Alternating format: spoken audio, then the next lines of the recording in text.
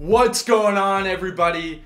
Welcome back to the Schmidt Show. Ethan Schmidt, your host and creator of the Schmidt Show, a place where we talk about sports, culture, and everything in between. Our first inaugural episode was a success. I can't thank y'all enough for your support. The second ever edition coming your way. We have a stacked slate this week. Let's get right into it. March may be over, but the madness isn't. The Final Four for the men's and women's college basketball championships happening this weekend. Some noticeable differences in the road to the Final Four for the men and the women. Only one seed in the men's tournament. Number one, Kansas making it as one of the last four teams. Two number one seeds lost in the Sweet 16. Of course, Arizona, the team down south, and Gonzaga,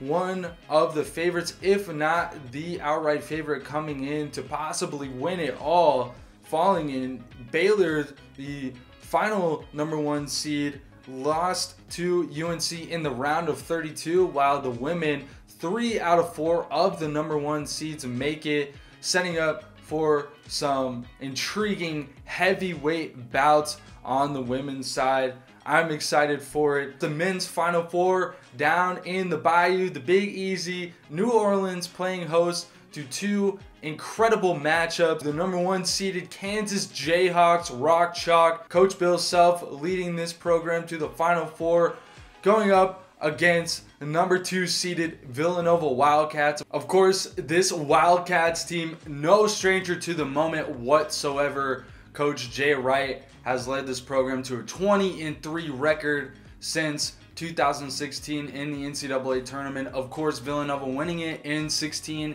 and 18 and right back here this time in New Orleans. Despite Villanova's success in recent years, I think I'm rolling with the Jayhawks. This Kansas team was able to dismantle a Miami team that came in red hot and won by 26. Villanova honestly got lucky. I was on the Houston Cougars in the Elite Eight, but Houston could not make a shot against Villanova. One for 20 from three. It looked like the Houston Rockets against the Golden State Warriors in the playoffs a couple years back and just absolutely embarrassing shooting performance from Houston. Villanova was able to escape, so I'm riding Kansas here. But this game does have a chance to be really close, and Villanova is getting plus four and a half. I do lean that. I could see Kansas winning by three or four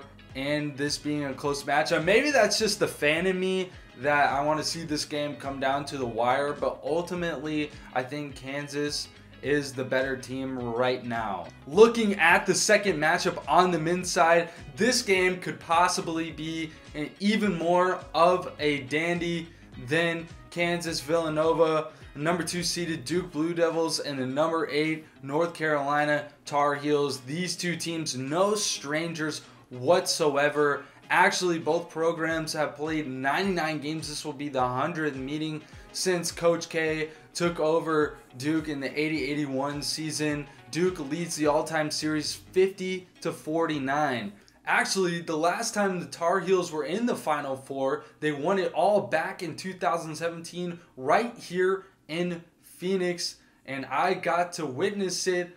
I was in attendance and actually got this collector's Coca-Cola can with the UNC logo on it. It says 2017 NCAA Division One Men's Basketball Champions. So that's pretty cool. Had to break it out this week for the Schmidt Show. With that being said, the Carolina Tar Heels have put on quite the run to get to this point, but I think that Coach K's last ride lives on and his team makes it to the final game, the national championship. I'm running with Duke. I do again want these games to be close. That's just the basketball fan in me. North Carolina is getting plus four. I do lean that direction. I think both of these games have a chance to be really close down to the wire. So we will ride with the underdogs, lay the points, and hope for instant classics this weekend, which it is all capable to do so. The championship game, number one Kansas against number two Duke, and this game, if this is the matchup we get, you better buckle up. It will be everything and more. I'm so excited. I think Coach K goes out in style, taking the Duke Blue Devils over Kansas. You know, I think that would just be the coolest story.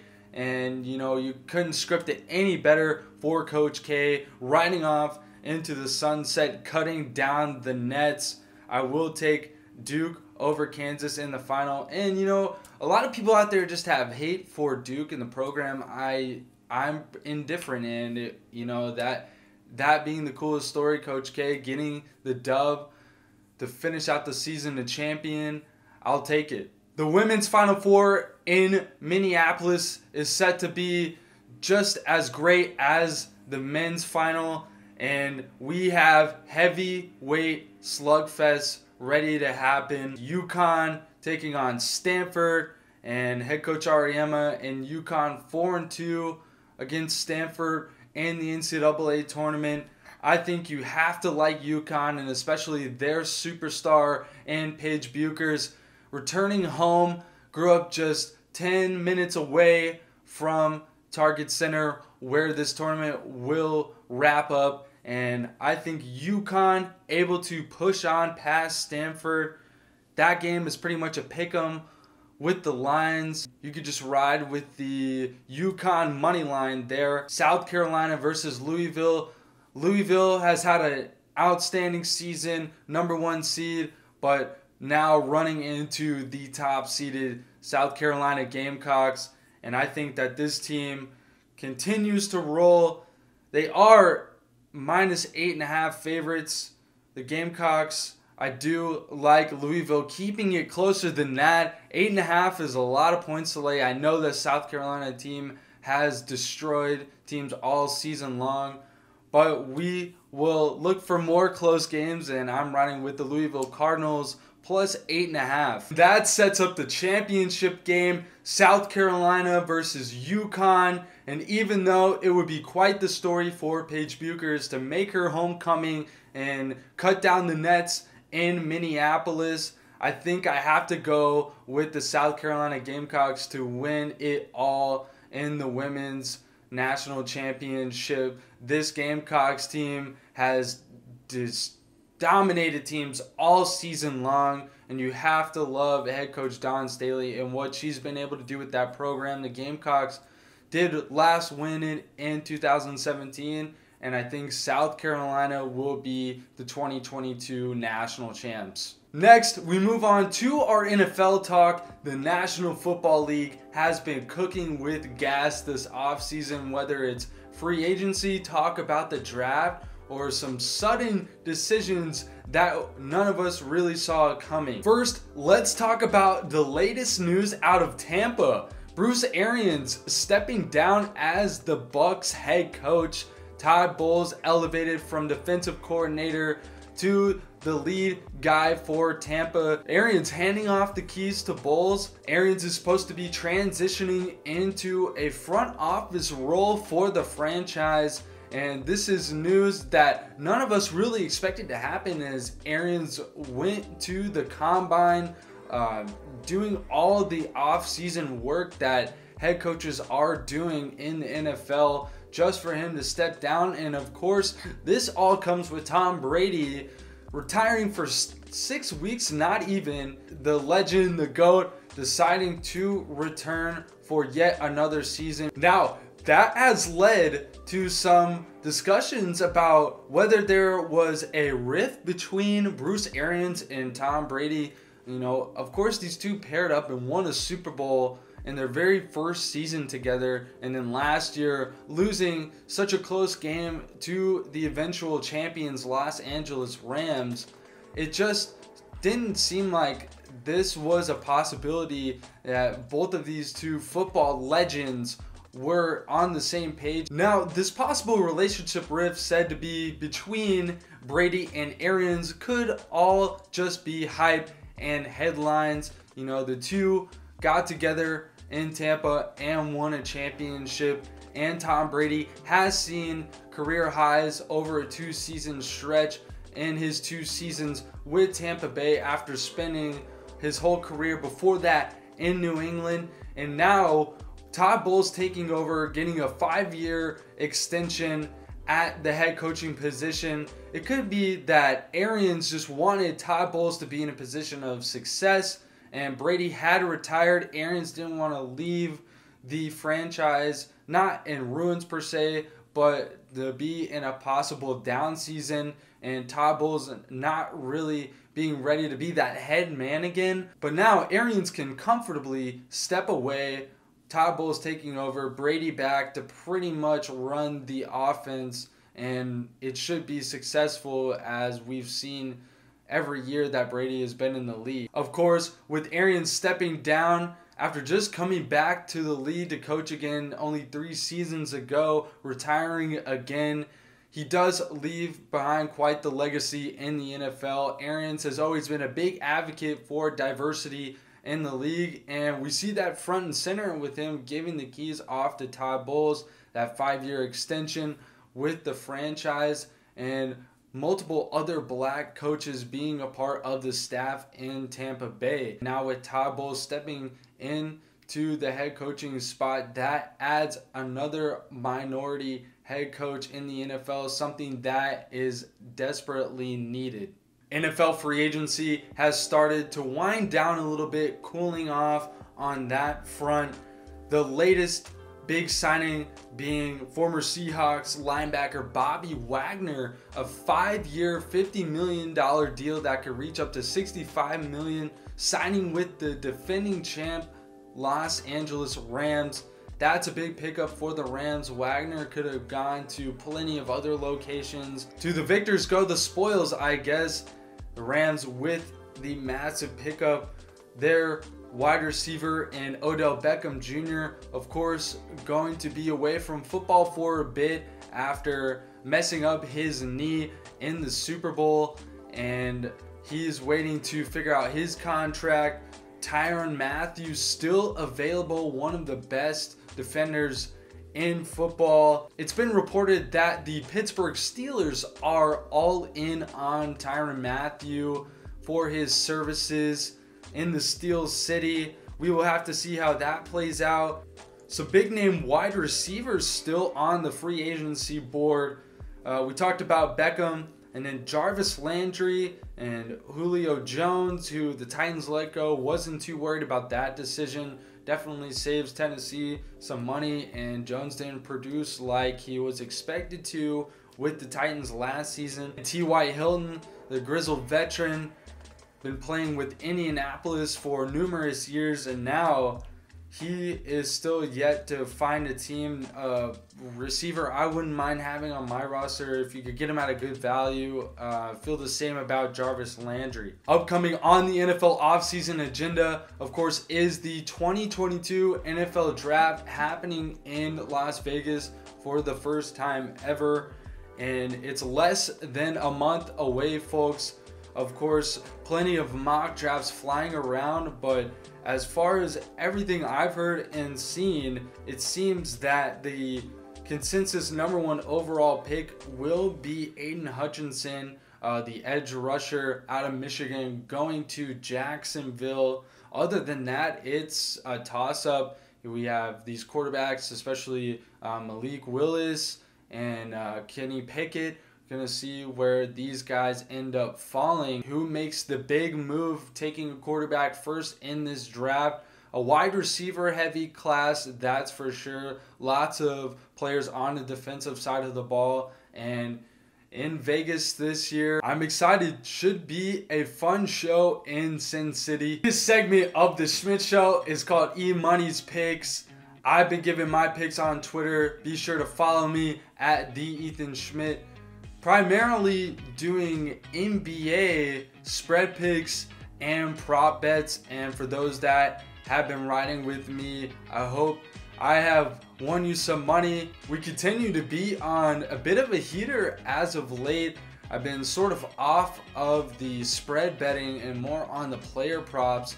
and those have been hitting. We had a big one come through for us this past Wednesday. It was Jae Crowder over one and a half threes. That hit. Then we had DeAndre Ayton over 10 and a half rebounds.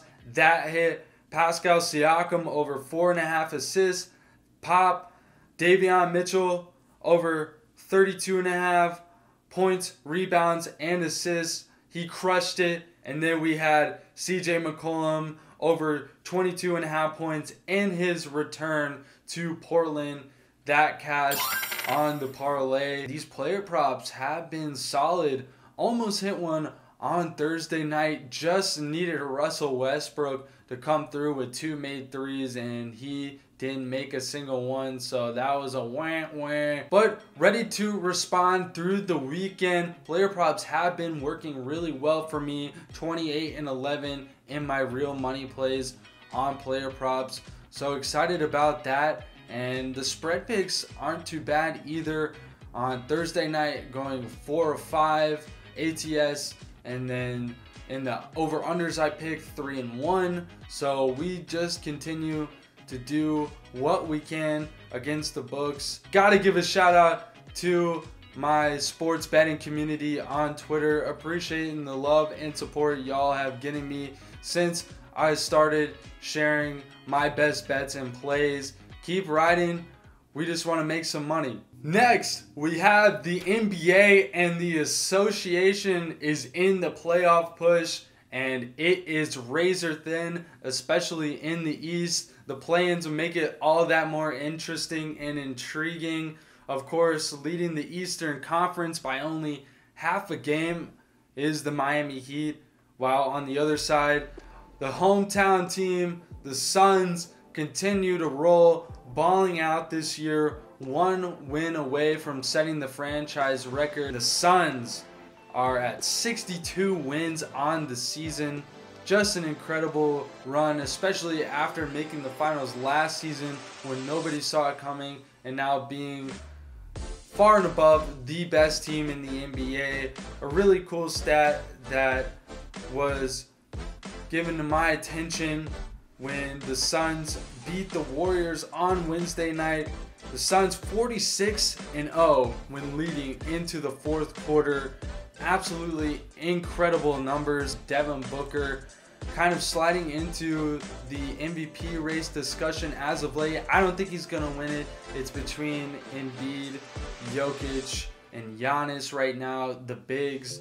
But Devin Booker does have a chance to make first team All NBA. He might get snubbed there, but I think he does end up on the second team at the very least. We shall see and of course just the supporting cast. You can't talk about it enough with Mikal Bridges, Jae Crowder, DeAndre Ayton in a contract season has come to play, and then the closer Chris Paul in such a good spot for this franchise. So soaked to see what the Suns do in the second straight postseason run after making it to the finals last year. You look at the playoff race in the East, and all 10 teams that are still in contention in the conference within nine games of each other. That is just crazy. The Eastern Conference leading Miami Heat with the Bucks right on their heels, and then the Celtics right behind them. Then you have the Sixers and the Bulls are picking up steam. The Raptors are right there, and then the playing teams, Cavs, Nets, Hornets, Hawks, all right on top of each other, and the shuffling will continue until the very last game of the regular season. And it makes it all that more exciting. The Heat and the Bucks have been great all season long.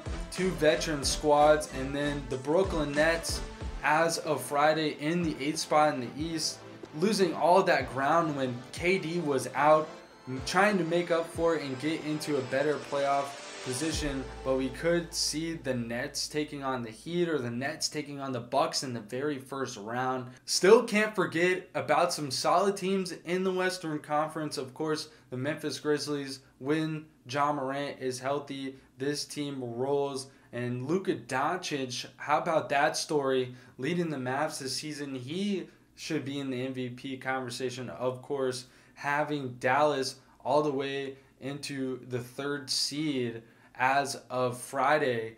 And then Golden State, of course, Curry out for the remainder of the regular season. We'll see what happens with that team. It's just been up and down. And when all the pieces are together, the Warriors are a scary team. But when they're not missing either Draymond or Curry or Klay Thompson, it seems like they can't just be that team that everybody has expected of them. I mean, you have to give credit though to players like Jordan Poole. He's been outstanding for the Warriors. And then Denver, always scary with Jokic and the possible return of Jamal Murray for the postseason. We shall see. And the LA Clippers have clinched a play in berth as of Friday. The other Los Angeles team, the Lakers, always in the headlines for whatever reason. This team has been absolutely pitiful all year long. LeBron James has done his best when he is in the game, but just been an abysmal year. Anthony Davis hasn't been able to stay healthy. The whole Russell Westbrook debacle. But how about the resurgence of Dwight Howard, huh? Without AD, he has had a few really solid games looking like vintage Dwight. And that's pretty much the only thing you should be talking about with this Lakers team. Last week, we neglected the NHL, and I can't get myself to do that again this week. Of course, the playoff race happening in the NHL as well, pretty much uh, mirrored alongside the NBA season. The postseason race in the NHL isn't exactly as tight as it is in the NBA, but set to be a solid postseason nonetheless. The Colorado Avalanche have been putting on a similar performance to the Phoenix Suns, dominating the league. First to 100 points. The top of the East, you have the Florida Panthers, head and shoulders above the rest of the conference, seven points ahead of the next best team in the Toronto Maple Leafs. But we will get a postseason with the, some of the usual heavyweight contenders in the NHL of course, you'll have Tampa Bay in there. Then on the bubble, some big heavyweights with the Bruins and the Washington Capitals. And then in the Western Conference, my hometown team, the Nashville Predators, are expected to make the postseason. The fourth best team in the Central, three points ahead of the Dallas Stars. And then you look in the Pacific, the Preds are would be the third best team in the Pacific Division. So Nashville in the postseason with only 15, 14 games left for most of these teams. Nashville looking like it will make the postseason for the eighth straight year. Incredible mark for this franchise. Barring any epic collapse, if the Preds don't make it, I probably will cry myself to sleep for a week. But of course, the Western Conference always so tough, especially come playoff time.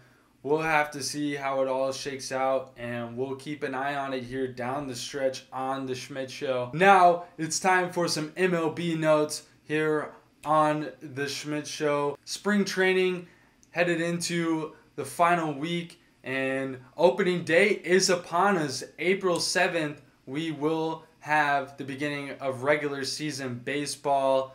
Should be a fun season ahead. We will keep a close eye on the home team Diamondbacks. The latest Arizona Diamondbacks news second baseman Ketel Marte is signing an extension and first reported by Nick Piecoro of the AZ Republic, who earned $76 million uh, he was entering the final guaranteed season on a five year, $24 million dollar extension he signed in March 2018. Now, Marte gets a little bit more money, team friendly deal. It's set up best for both parties. Happy that the Diamondbacks will keep Marte to build around him. Of course, Arizona with the solid farm system. Uh, not looking like Arizona will be very hot this season but the future looks like it could go nowhere but up, and especially having Marte as a core piece looking like a much better future ahead here in the Valley. Next week, we will have our very first guest here on the Schmidt Show, Miller Thomas of Locked On Arizona Diamondbacks will join us for an MLB preview. So, a little bit short here this week on the MLB talk, but we will have a nice block ready for opening day on the next edition of the Schmidt Show. So, at the beginning of this past week, on Monday, I was doing a usual Arizona Prep Spotlight broadcast for a high school baseball game in Glendale at Apollo High School, and the Apollo Hawks were hosting the Sunrise Mountain Mustangs. And little did I know I was in for one heck of a night. This game was tied up in the bottom of the seventh, the last inning of regulation in high school baseball, off a two RBI double from Apollo's best hitter, second baseman Carlos Valencia. And then next thing you know, we have six straight scoreless extra innings. The closers for both teams just in an absolute pitching duel. And the bottom of the 13th ends on an egregious call. Uh, the lead runner for Apollo is tagged out at second when he was safe. And that sets everybody off for Apollo. The coaching staff, the parents, the fans, they're all getting on the ump just after this two man crew. Expletives flying from the umpires and the Apollo coaching staff and the fans, and it was just insane. And I guess as the umpires ejected one of the coaches, he exchanged words with the umpires to try to get physical with them. And that's when uh, the field umpire got on the phone, and I wasn't sure who he was talking to, whether he was trying to get a hold of his boss or what. And next thing I know, he was calling the cops because an officer shows up and she takes a full fledged report. And then two more officers come after the fact, and it was just absolutely wild. Never been a part of anything like that. Usually these games are like an hour and a half, two hours long, but this one ran over four hours, and then the delay with the police report and everything being an extra 30 minutes. I was there for almost five hours. Just insane. One gentleman ended up showing up. I don't know if he was the athletic director for Apollo or the AIA officiating supervisor, but he showed up and said uh, everybody had to leave. The stands cleared out. I was able to stay because I was doing the broadcast, and it turned into a ghost town just like that. And finally, after this delay was over, the action resumed, and I was told that the game could go on as long as it takes to have a winner. And I didn't realize that was the rules for high school baseball. I thought regular season baseball there would be a cap where it would just end in a tie. But we were seven innings in, and coming back from the break but finally, Sunrise Mountain rips off six straight runs after the huge delay, and that was that. Sunrise Mountain ends up winning 12 to 7, but easily the wildest game I've been a part of in my young sports broadcasting career. I'll have plenty more to come on Arizona high school baseball, but that will wrap it up for sports on this edition of the Schmidt Show. Now we're getting into our culture and music side of things. Of course, the biggest story in the media, Hollywood, being Will Smith going on stage at the Oscars last Sunday and slapping Chris Rock for making a joke about his wife, Jada Pinkett Smith. The whole world reacted, blowing up to this incident a lot of talk whether it was real or whether it was staged. I mean, the reactions between actors and actresses and people present at the Oscars made it feel real. And then we saw an apology from Will Smith, ending it in I'm still a work in progress. The dude's like 50, so I don't know what he's talking about there, but uh, just insane. I mean, to think that somebody would go and do this in front of thousands of people and then when it's televised in front of millions and millions of people this makes you think you know how could how real could this be? But you know at the end of the day it's definitely showing a sense of entitlement. And i mean you could talk about there being toxic masculinity you know you got to step up and defend your woman in like a manner but like I don't know, like just I actually started watching Fresh Prince of Bel Air, the original with Will Smith, and like just watching that and following Will throughout his career. Never expected him to do something like that, and Chris Rock still isn't ready to talk about it. So we'll see what comes out of it. But that was a massive story throughout this past week. Now, talking about music, some new projects dropping this week for some of my homies. Of course, we have Pilot Flying dropping a new tape. Pretty fire, go check it out. I've actually done some video work for Pilot, got to shoot a nightclub show with him and two other headline artists.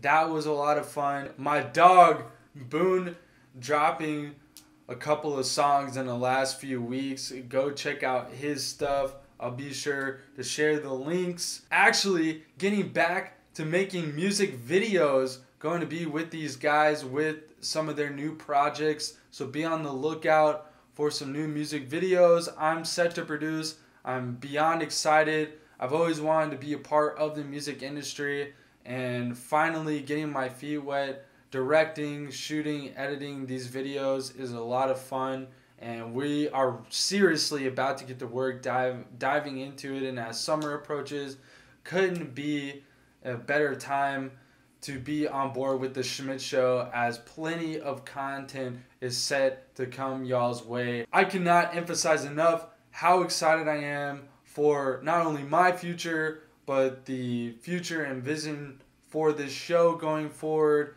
and just where we will be as we continue to pump out each episode. Of course, we'll have more guests as the Schmidt Show continues to grow. I would love any suggestions. Feel free to comment, reach out to me personally. However, you can get a hold of me, share your takes, whether or not they're hot or cold. We'll see your betting picks, best picks. Always down to ride with you if you have a good feeling about something or have done your research. Please continue to like, subscribe, share whatever you can. I appreciate the love more than you know as we get this off the ground, and I promise it will continue to get better each week. That will do it for this second edition of The Schmidt Show. Again, your host and creator, Ethan Schmidt.